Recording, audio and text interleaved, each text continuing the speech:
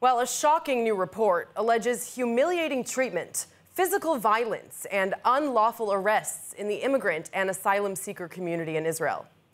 The research by the Hotline for Refugees and Migrants for 2019 is based on dozens of testimonies, accusing the authorities of illegally detaining those suspected of visa violations.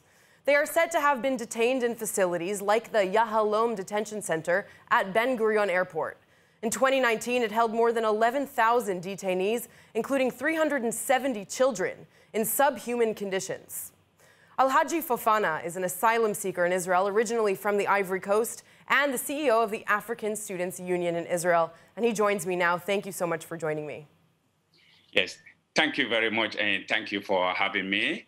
Of course. And, uh, yeah, I'm very happy uh, to join this uh, conversation because it's really related to what I've been doing in my community and also what the organization uh, have been doing. But um, actually, uh, I think this is um, it's really it's, it has a very negative impact on me as a leader, but I would say mainly to the community as a whole, because the system is built on this. It's built to fail this generation of asylum seekers and also their children. So I'm not surprised, but this might be surprise to many people because I'm every day immersing into the situation, meeting people, meeting parents and schools. So I know how this has a very huge impact on the uh, on the community. Sir, I understand your organization is doing work to help protect the migrant and asylum seeker community. Tell me how reading these testimonies has affected you and how bad is the problem really? Um, it affected me negatively because it's something I've been fighting for for five years, and uh, still there is no success. But uh, I'm still optimistic, and I never give up. And I believe one day um, the truth will prevail, and uh, these children will have their right to a better education. But also the community, mainly family members, they are very shocked they are very shocked and disappointed to the type of education that their children are having.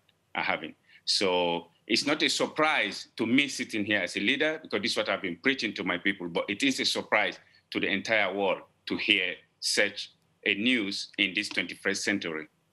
Well, you know, yeah, obviously, 2019 wasn't the first time these in incidents took place. It was going on before then. Why is this just being exposed now when it's obviously been going on for some time?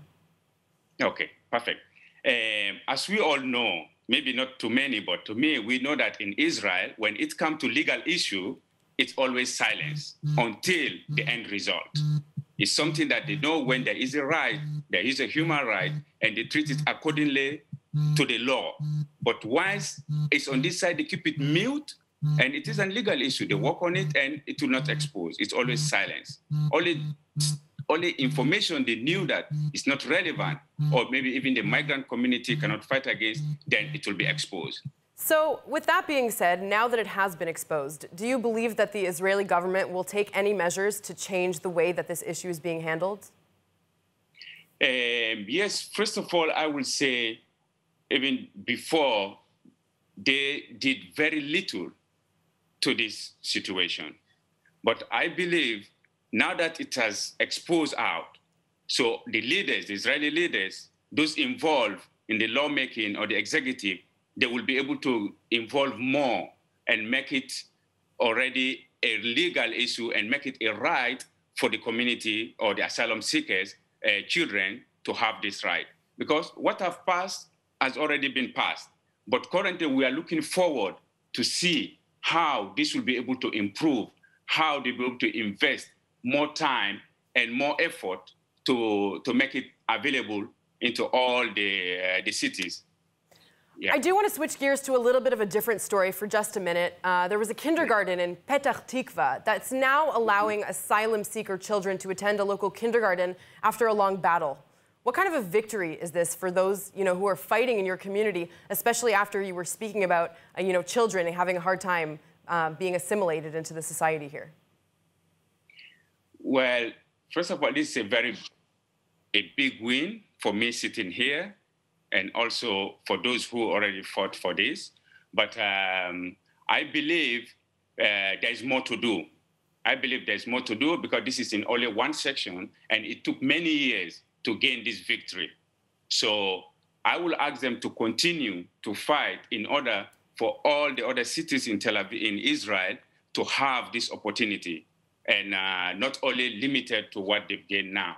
Because we do believe that the basic knowledge starts from this kindergarten. Because there are many children today, even we at the education, uh, to the higher education here, we are struggling with this. We have children that we want to send to higher education, they finish their high school, but it is very challenging for them to, to meet the criteria because their level is very low. Right. And all this is because of the poor basic education they have from the beginning. Well, we do and hope if, that exposing this report, you know, does lead to some positive changes in your community. Mr. Fofana, thank you so much for joining yeah. us today. We really appreciate it.